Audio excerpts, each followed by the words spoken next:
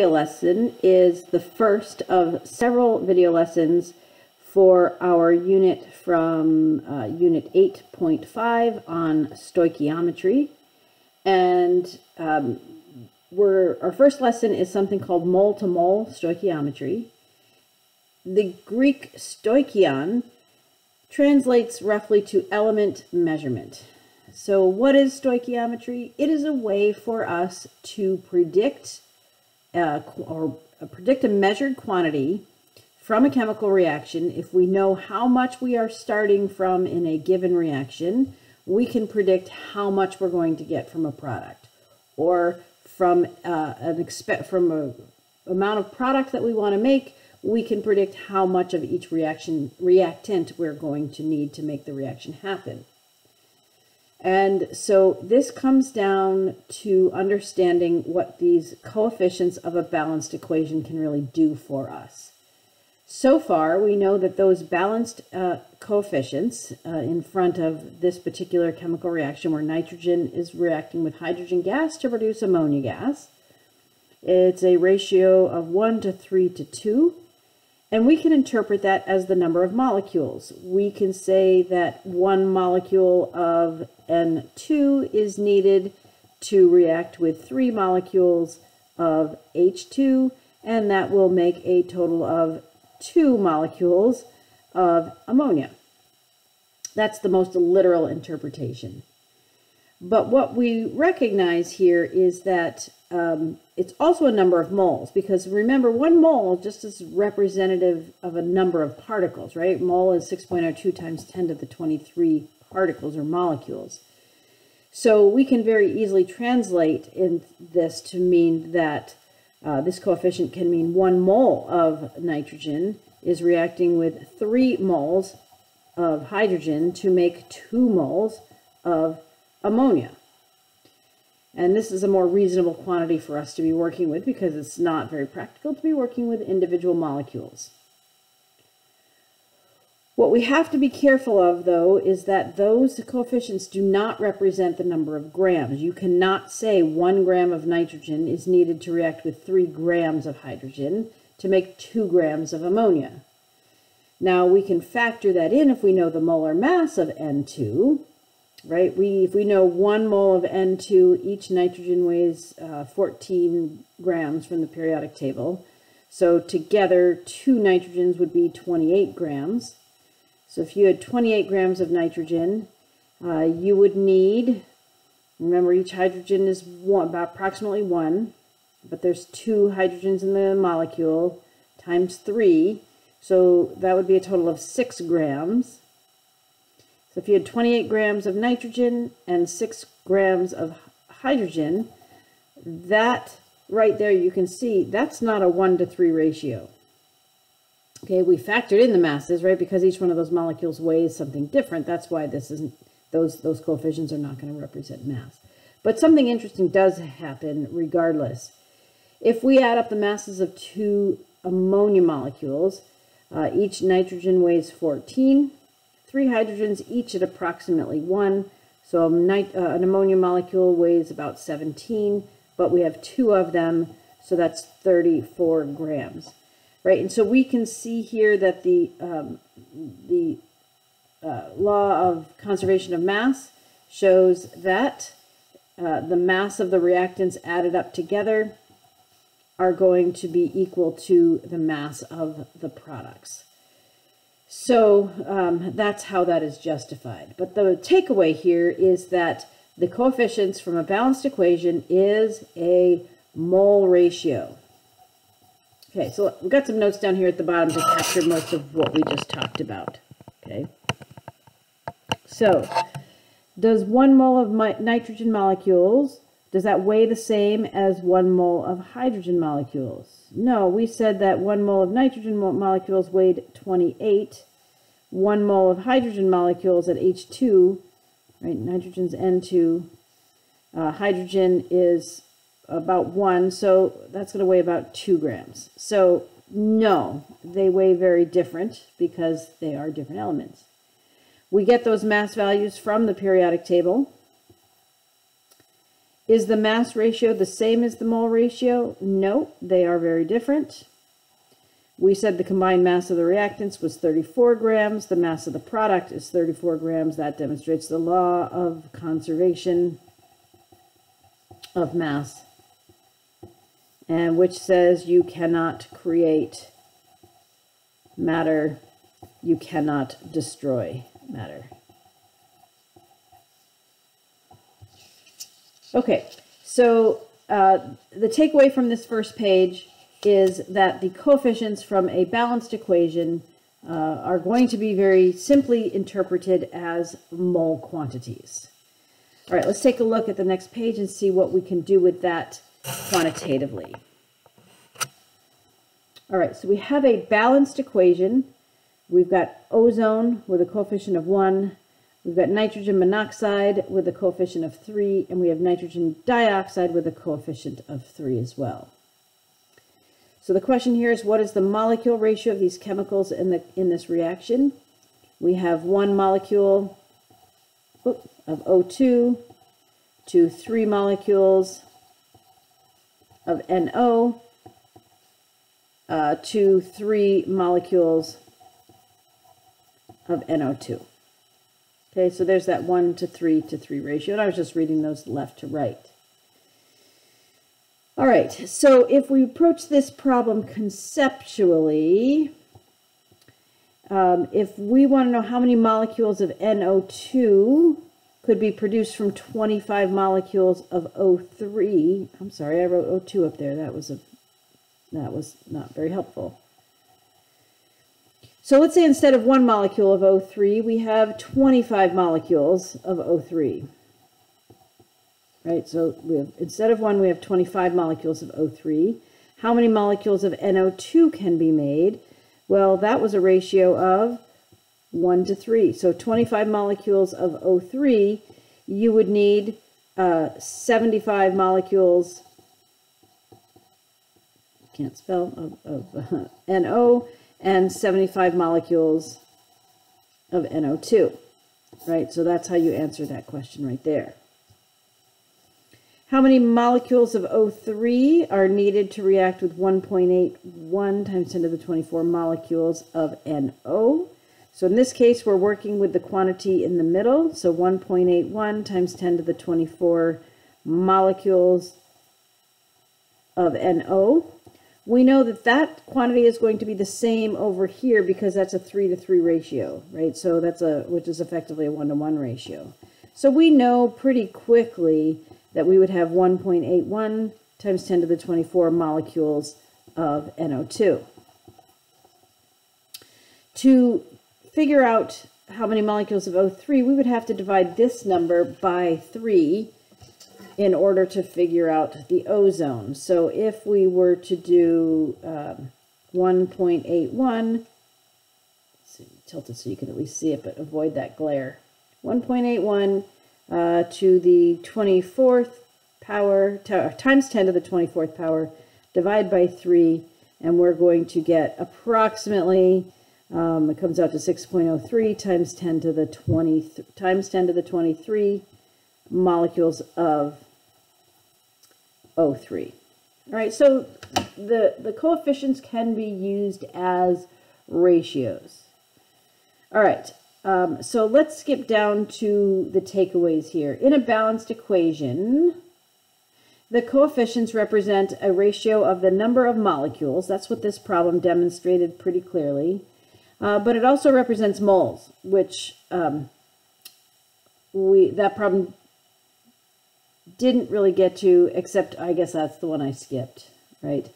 Um, but we know that those coefficients represent moles as well. What we know that those coefficients do not represent is a ratio of grams. Okay, so this will be coming up in a topic soon. Um, if it feels like I am emphasizing it, I am, uh, but we will address the specifics in a different lesson. So let's interpret this um, from a mole concept using this equation. We've got octane, 2 moles of octane reacting with 25 moles of oxygen to make 16 moles of carbon dioxide and 18 moles of water. So what we're going to do now, instead of using the ratio method that we used in the previous question, we're going to go back and use our uh, conversion fraction, our um, dimensional anal analysis technique. And so I'll show you how to get that set up using this, using these kind of problems.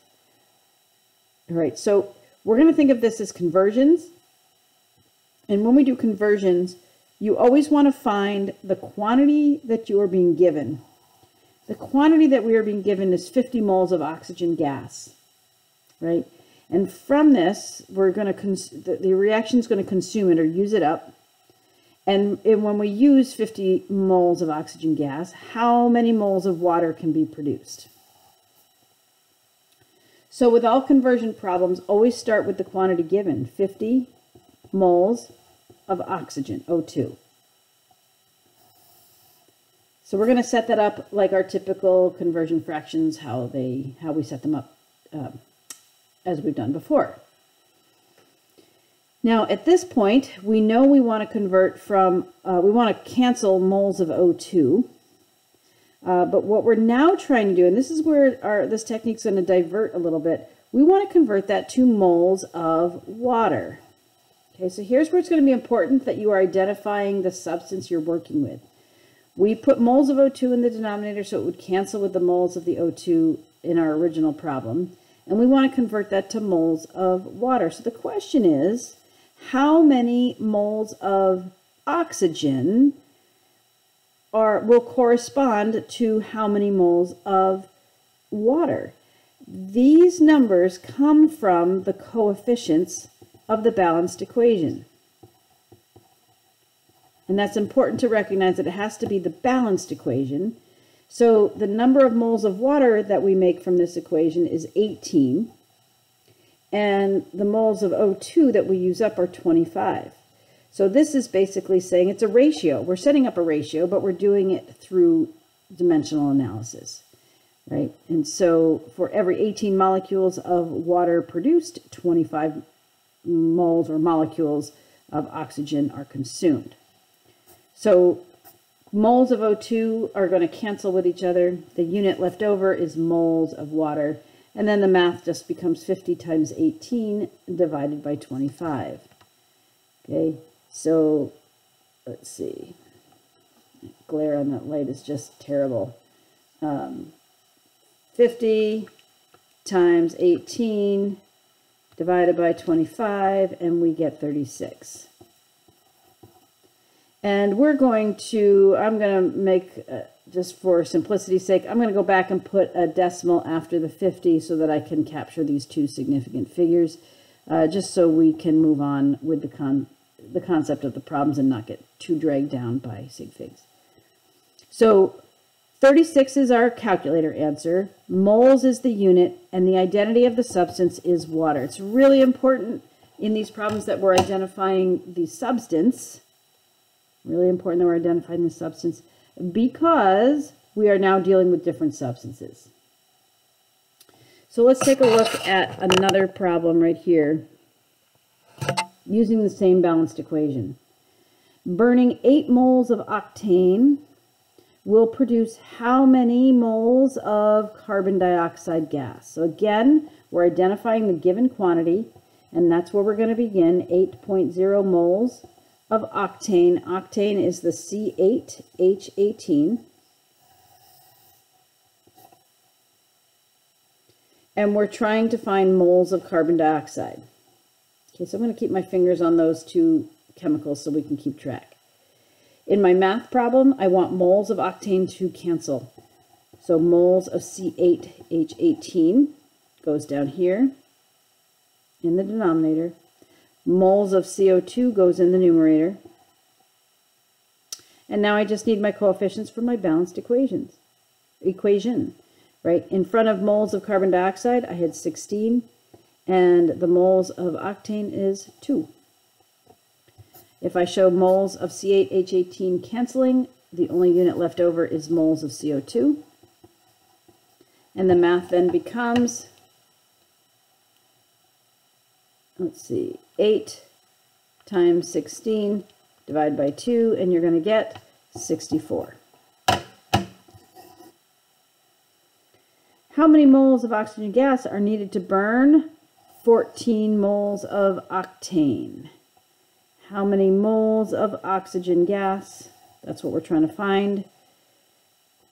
14 moles of octane is what is given. So 14 moles of, again, octane, so C8H18. I want moles of C8H18 to cancel, so that goes in the denominator. I want to solve for moles of oxygen gas. The coefficients go in here, so I have to go back to my balanced equation. 25 moles of O2, 2 moles of octane, moles of C8H18 are going to cancel, and the math then becomes 14 times 25 divided by 2. And I get 175.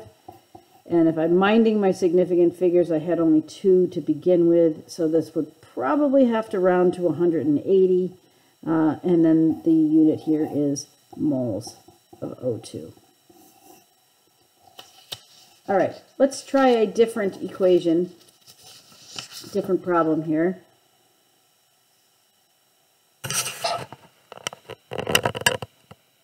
Okay, so in this uh, problem, we have a, um, it's interesting that it, to note that this is a balanced equation.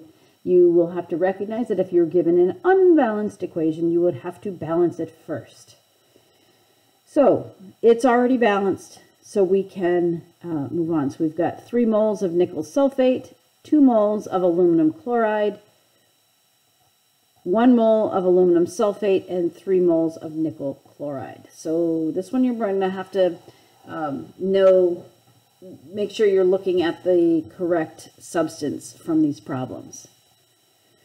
So the question here says how many moles of aluminum sulfate could be formed from 0.442 moles of, I'm going to move this up here because it got chopped off, 0.442 moles of aluminum chloride. So I've got a given quantity, right? And we know we're always going to put the given quantity at the beginning. So 0.442 moles of aluminum chloride.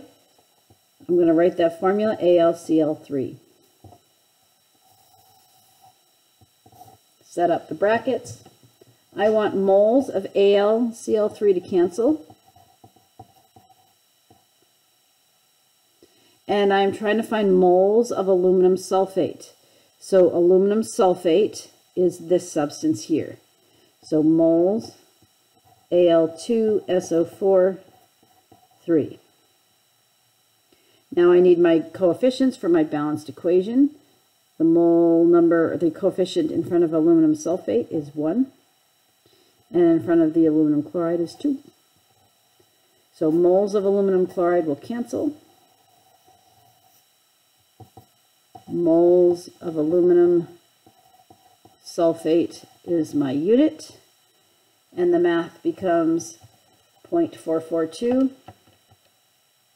times 1 divided by 2, and I get 0.221 moles. Part B, how many moles of NiSO4, that's what I'm solving for, would react with 6 moles of aluminum chloride. So 6.0 moles AlCl3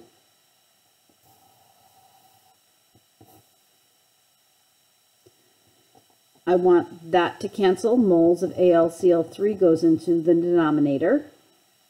I'm trying to go to moles of NiSO4. I have to now look at my balanced equation. Nickel sulfate has a coefficient of 3. AlCl3 has a coefficient of 2. Moles of AlCl, AlCl3 cancel. The unit I am left with is moles of NiSO4. The math then becomes 6 times 3 divided by 2 and of course that works out to 9. We're going to call it 9.0 to maintain significant figures. If 9.3 moles of NiCl2 are formed, how many moles of Al2SO43 will be formed? Okay, so uh, you may notice that it doesn't matter whether the given quantity is a reactant or a product. It doesn't matter if the substance you are solving for is a reactant or a product. So it doesn't matter what side of the equation you're starting on. If you were wondering that, it does not matter. So I'm starting with my given quantity, 9.3 moles of NiCl2. I'm going to cancel moles of NiCl2. And I want to convert to Al2SO4 3. Oh, moles of that. Okay, so find those coefficients from the balanced equation. The coefficient in front of the Al2 SO43 is a 1, and the coefficient in front of the NiCl2 is 3. Moles of NiCl2 cancel. I am left with moles of Al2 SO4 3. And the math becomes, you could probably do this in your head, but in the calculator, 9.3 times 1, divide by 3, and of course you get 3.1 moles.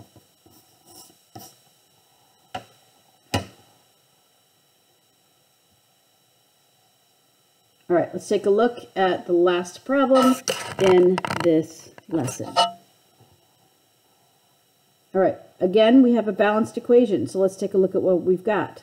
We've got one mole of methane. We've got two moles of oxygen we've got one mole of carbon dioxide, and we've got two moles of water.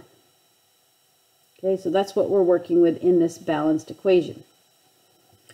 We are being asked to find how many moles of carbon dioxide can be produced from the given quantity of 6.7 moles of methane. So I'm going to start with 6.7 moles of methane. Methane, of course, is the CH4. I want moles of methane to cancel. And I'm trying to convert to moles of carbon dioxide, moles of CO2.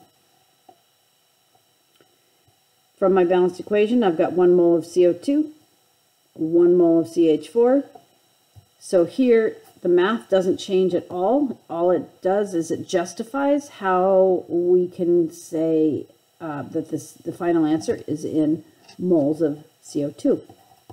So we're going to get 6.07 moles of CO2 as our final answer here.